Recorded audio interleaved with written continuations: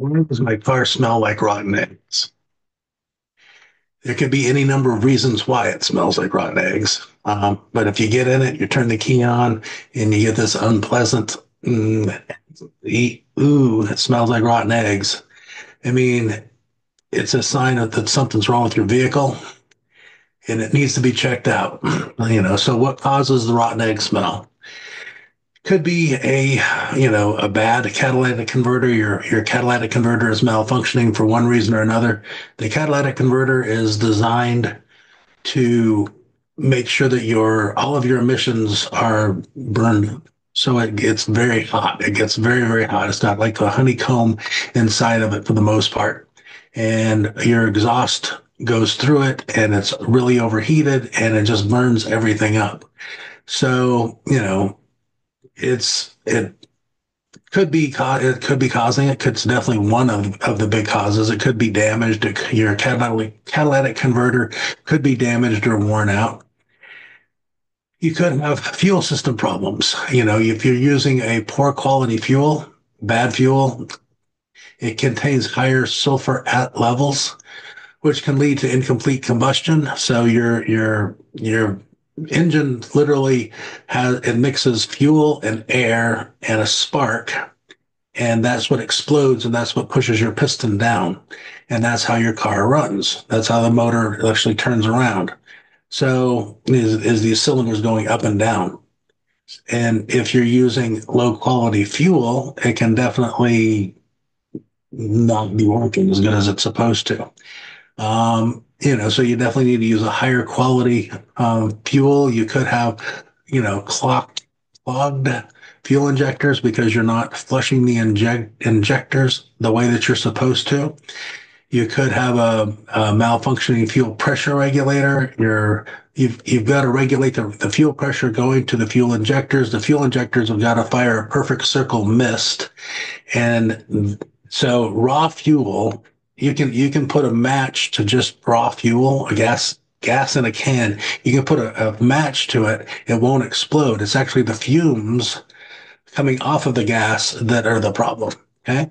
So the fumes are the gas, not the gas itself. So when what we're doing is we're trying to make gas fumes by spraying that the fuel into a perfect circle mist, mixing it with the air, which is controlled by your your air meter for your for your engine, your mass airflow sensor, and it goes in and then it's sparked and it explodes. So you know if you're using you know low quality fuel and it's or your fuel injectors are dripping because they're they're partially clogged and you're dripping raw fuel raw fuel is not going to burn as good um, you could have faulty oxygen sensors the oxygen sensor itself reads how much unburned fuel you have going into your exhaust.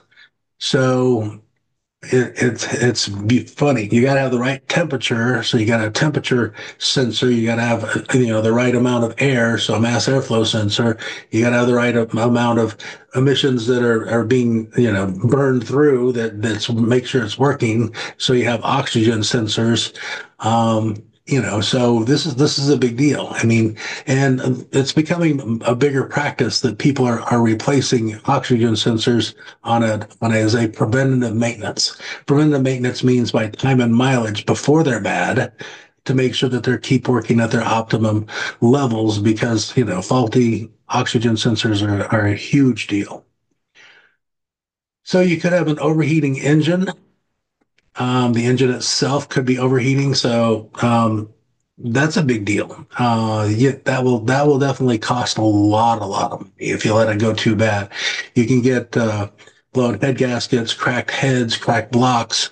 You can get all kinds of things. I mean, it could be your water pump is leaking, could be your your coolant system is leaking. Period. Your radiator, your water pump, your your uh, any of your hoses I mean, there's you've got literally your heater core is inside your dash.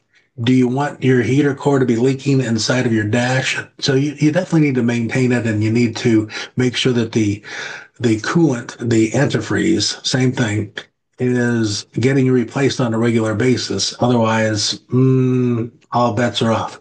So you know, if it's overheating, it definitely can be having, you know, burnt odors mixed with, you know, the, the sulfuric components, could be all kinds of weird stuff.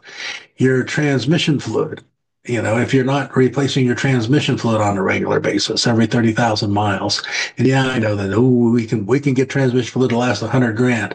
Well, then get your oil to last a 100 grand. I mean, that makes no sense to me, but I mean, if you're going to change your oil, you need to change your other fluids. You need to change all of your other stuff. So, you know, flush, flush or, or fluid exchange, whatever you want to call it, your, all of your fluids, flush your injectors, keep up with it like there's no tomorrow. So you could have a, an exhaust system leak. So if your, if your exhaust system is leaking, um, depending on where it's leaking and how it's leaking, then you know it's going to get that sulfide that coming into you. And it can actually coming into your car you know the inside the vehicle with you into the car's cabin. So and if you're smelling it on the inside of the car it is coming in you okay so understand that. Whatever you know you're whatever's on the outside if it's getting on the inside it it ain't good for you Okay. I mean, that's why you want to change the cabin air filter out the way that, you know, it's pretty often. I mean, you change your, your air filter in your house and it's inside. You definitely need to be changing the cabin air filter and the air filter. They're outside. Um, so, you know, it's, it's a big, big deal, you know, so don't, if you got, if you got an exhaust leak, that's definitely not, that's not something to play with even a little bit. So potential consequences of ignoring the smell Ignoring the rotten egg smell in your car can lead to a host of problems like increased emissions, poor fuel efficiency, costly repairs, health hazards. I mean, on and on and on. So, you know, make sure that you're keeping up with your warning lights. Make sure that you're bringing it in to build a relationship with an automotive repair shop, bring it into that repair shop, trust that repair shop, let them inspect your car on a super regular basis. I prefer, you know, at least three times a year, if not four. If you're going to going to drive, you know, fifteen thousand miles a year, you're getting your oil changed every five thousand. You're coming in three times a year. That should be okay. Um, you drive more, it needs to be more. So, you know, you need to inspect the exhaust. You need to monitor your fuel consumption. You need to, you know, keep smelling the fluids. I mean, if you're start, if your fluids are starting to, first off, you need to know what they smell like. Good. And that way you can, you can know what they're smelling like when they're not good. So you need to, you know, get it in, get it checked out. I mean, use good high quality fluid use preventative maintenance. Whatever you do, take care of your car. I mean, get a plan. I mean, what is the plan? If you're not going to plan to maintain your car, then guess what?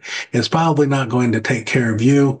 So we probably don't want, you know, pay me now, pay me later. Pay me now, pay me later. And then, of course, again, seek a, a shop that you can actually trust and has got your best interest at heart. Not something that you want to mess with, mess around with this is a big deal.